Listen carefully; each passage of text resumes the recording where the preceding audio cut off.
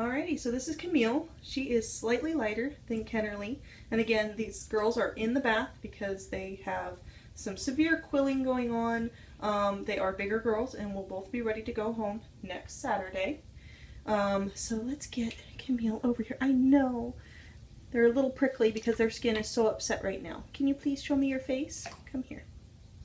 Come here and show me your face. Oh, you don't want to? You want to hide your face? But it's so pretty.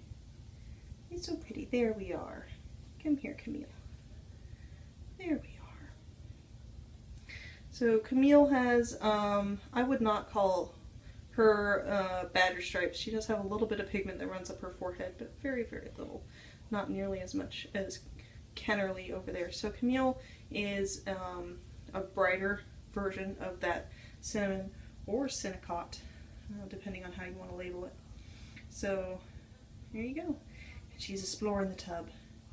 Explore, explore. I need to drain the tub. You got poops in here. Time to switch out the water.